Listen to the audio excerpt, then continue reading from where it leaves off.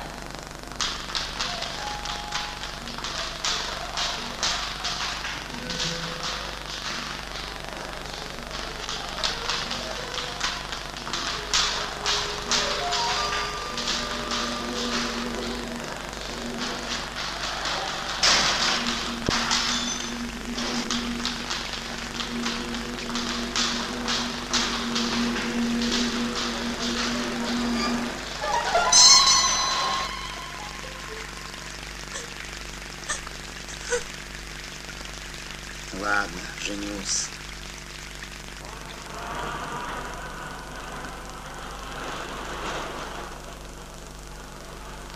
Знаю, чем это кончится. Через месяц разведутся. Истец, объясните суду, по каким причинам вы возбуждаете дело о расторжении брака?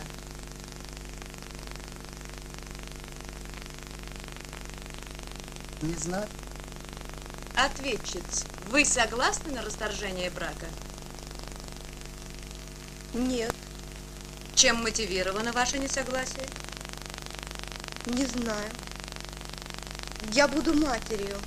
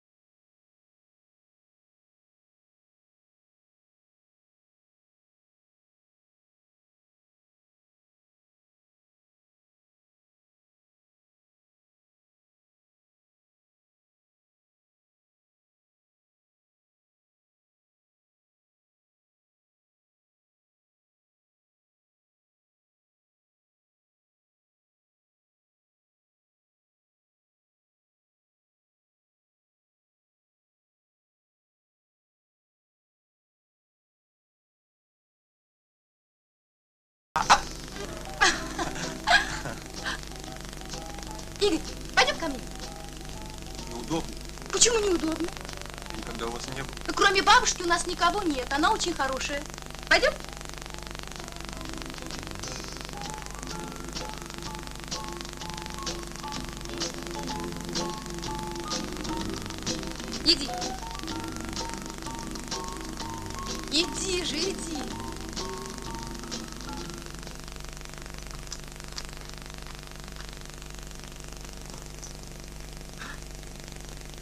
Кто тут рассказал, не дома.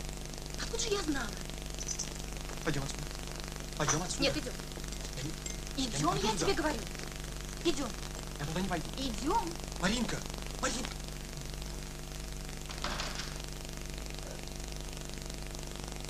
Знакомьтесь, это мой друг Игорь. Моя мама.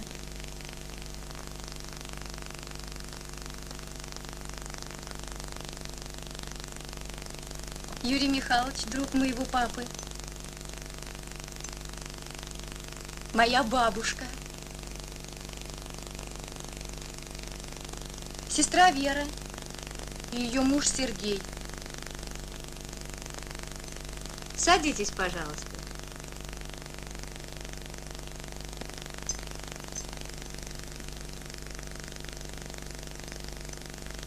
Верочка, подай, пожалуйста, чашки.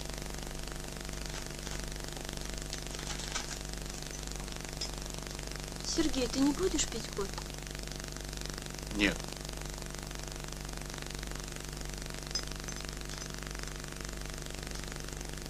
А где ты так долго была? Да так, гуляла. Рано тебе еще гулять. Вот так всегда. И Вере вы тоже так говорили. Сказочки рассказывали. Ты еще маленькая, ты еще...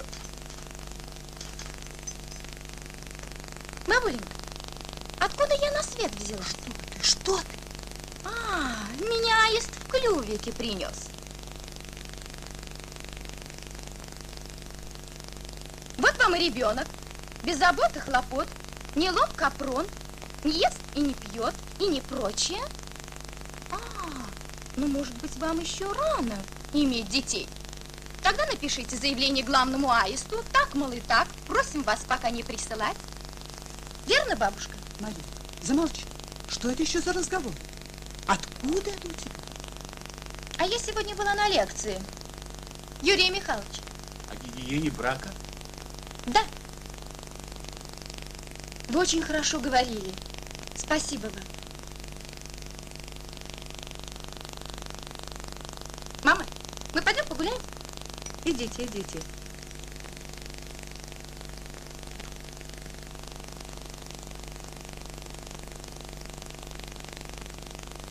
Ну что ж, давайте пить кофе. А знаете, это хорошо, что Маринка у вас так любознательна. Ведь ей уже 17 лет. В этом возрасте иные девушки к свадьбе готовятся. И это говорите вы, врач? Однако, как мне известно, медицина наша советует с этим повременить. В общем-то, вы, конечно, правы. С медицинской точки зрения, да и с социальной, рекомендуемый брачный возраст 20-21 год, а юношам даже на 2-3 года позже. То-то и оно. Но это не значит, что юноша и девушка не должны быть разумно подготовленными к браку. Нам, врачам, порой приходится сталкиваться с печальными, иногда и трагическими последствиями такой неосведомленности. Да вот, вчера еще. Первую ночь после свадьбы я испытала столько горечи. Муж был пьян. Никогда его таким не видела. Я просила оставить меня одну, но он настоял на своем. Такая боль и обида.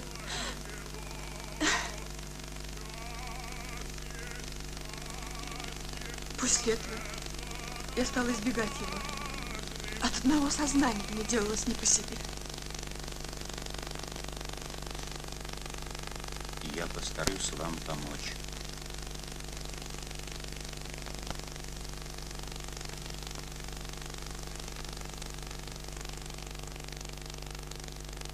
Дайте мне, пожалуйста, номер служебного телефона вашего мужа.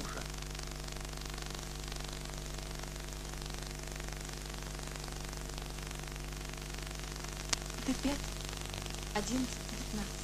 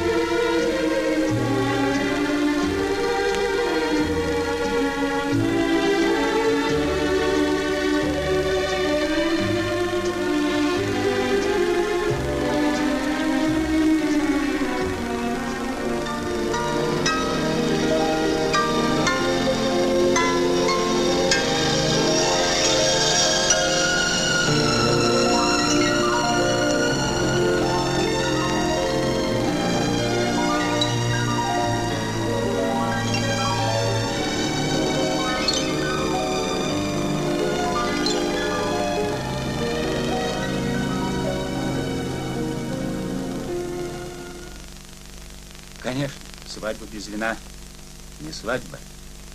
Но нередко самым пьяным к концу торжества оказывается жених. Страшно то, что нередко сразу же наступает беременность. А опьянение отца потом сказывается на здоровье младенца.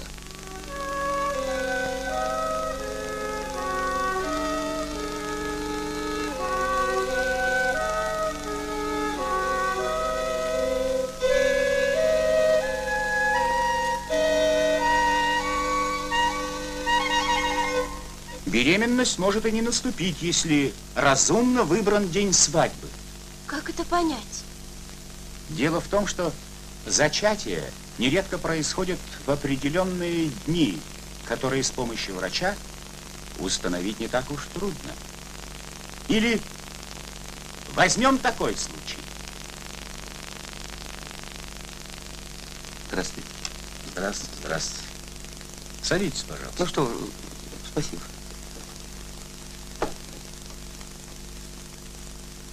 Ли, доктор, женат уж 10 лет. Но вот близость с супругой не дает мне,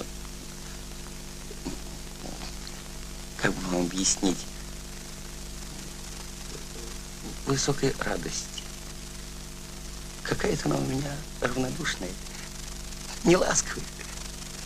А вы с ней всегда ласковы. Ласка и нежность должны быть взаимными.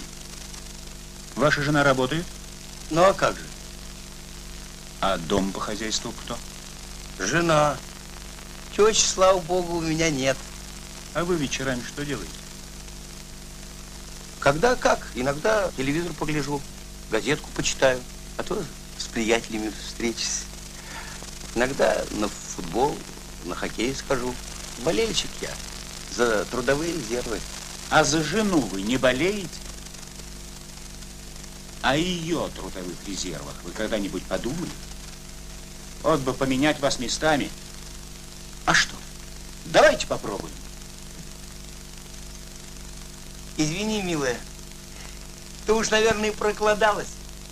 А я весь гордо сходил, пока достал курицу для твоего любимого бульона. До завтра.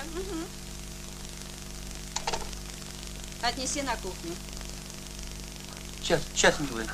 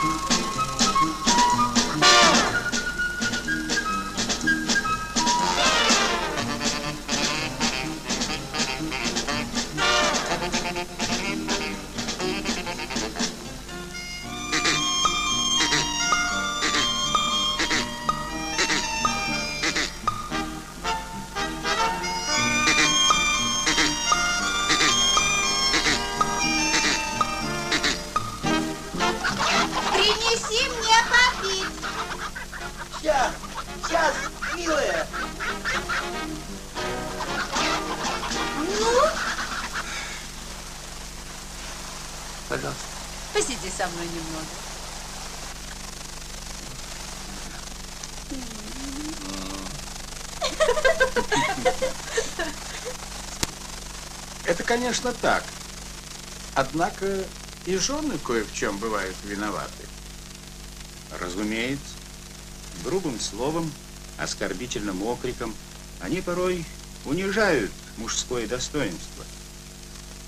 У некоторых мужчин это вызывает подавленность, безразличие, ленность. О, пора и честь знать.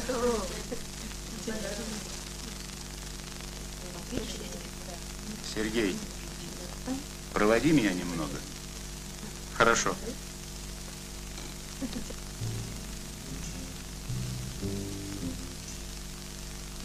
Вера мне показалась очень подавленной. Юрий Михайлович, где-то есть...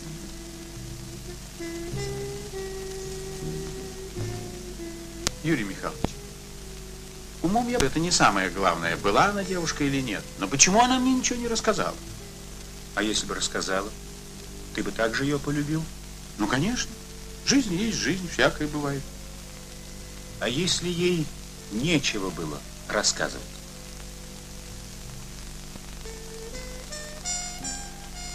Зайдем? Зайдем. Отсутствие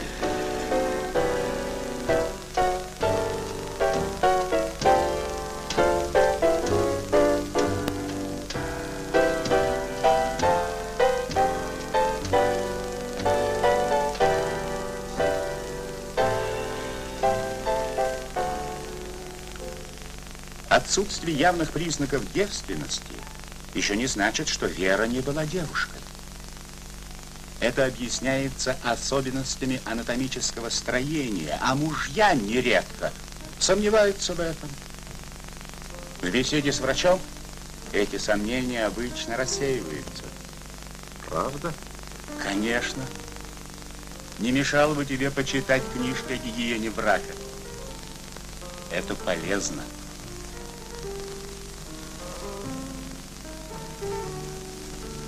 Кстати, Сергей, не собираешься ли ты стать отцом? Что вы, мы с Верой исчернем. Надеюсь, вы знакомы с мерами предостережения? Ну, не очень, Юрий Михайлович. Ясно. Ты в ближайшие дни зайди ко мне на прием, а Вере помогут в женской консультации. С учетом ее индивидуальных особенностей, врач сможет порекомендовать активные предупреждающие средства. Еще один дружеский совет. Не злоупотребляй интимной близостью в смысле чистоты. Это поможет сохранить свежесть чувств и мужскую силу. А что значит злоупотреблять в этом отношении? Медицина рекомендует 2-3 встречи в неделю. Разумеется, могут быть отклонения в ту или иную сторону, в зависимости от темперамента, образа жизни. Случается, что женщина вначале вообще не испытывает особого влечения к интимной близости. Чем нежнее и внимательнее будет супруг, тем быстрее пробудится жена.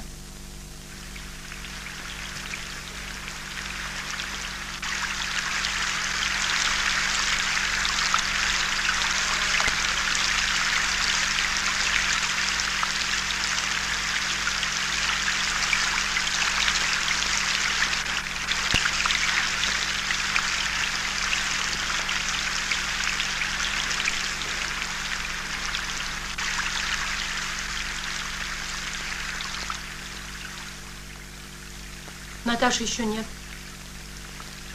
Как нет?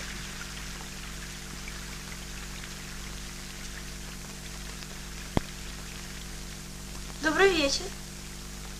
Где ты была? На лекции. На какой лекции? На твоей, папочка. Ты советовал ее послушать. Спасибо тебе. Да, но ведь лекция давно окончилась. А потом где была? Уже 11 часов. Делилась с подружкой впечатлениями. Между прочим, дорогие, у вас уже взрослая дочь.